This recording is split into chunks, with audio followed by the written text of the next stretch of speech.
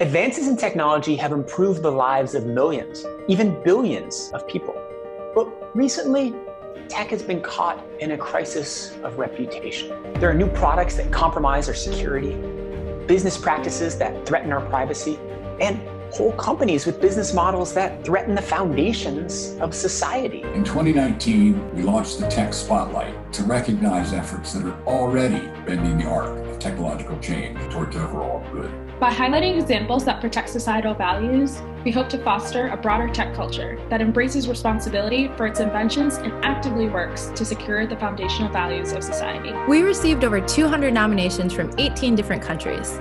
Each nomination was evaluated for impact, innovation, and commitment to public purpose. Here are our three finalists.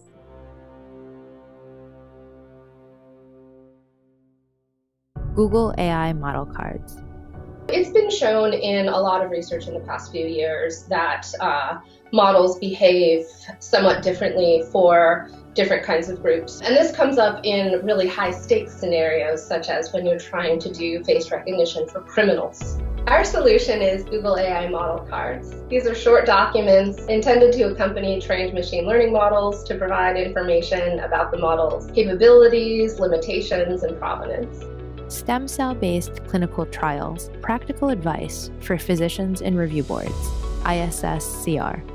The application of stem cell research, whilst rapidly advancing, is also leading to an increased number of clinical trials. Problems have arisen, so some people have gone and had some of these therapies from clinics where the data is not really robust and have ended up being worse off. To address this problem, we developed the stem cell based clinical trials practical advice guide. It is critical that those involved in running or reviewing such trials can make sure it's safe and being done in the best possible way.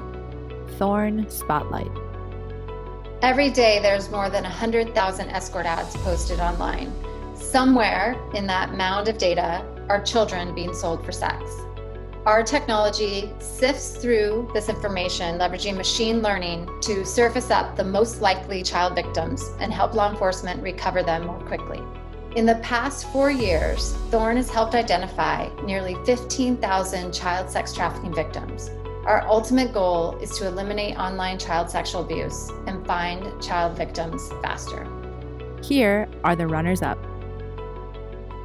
AI Fairness 360 Toolkit by IBM, CCRI Victim Services by the Cyber Civil Rights Initiative, Data Detox Kit by Tactical Tech, Digital Citizenship by Common Sense Education, Ethical OS by Omidyar Network, Institute for the Future, and Juggernaut, Gender Shades by the Algorithmic Justice League, Human Genome Editing Initiative by the National Academy of Sciences and the National Academy of Medicine.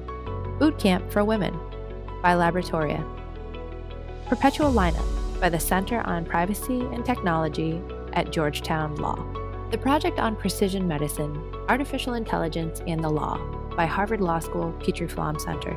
The Privacy Project by the New York Times. Startup Include by Project Include. If we truly believe in the power of technology, we must take on the responsibility to protect public values. It's time to lead by example.